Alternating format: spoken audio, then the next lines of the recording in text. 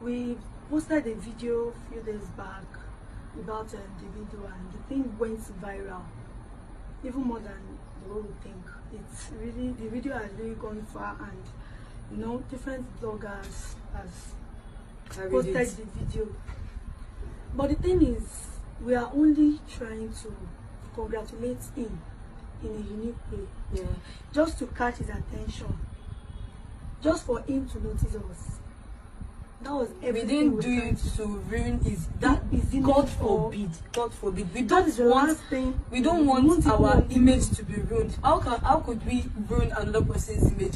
Not to not talk of a, A top whole- a whole Davido.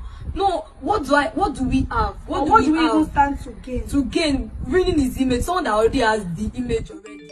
He can we trample on he can trample us with just a finger. We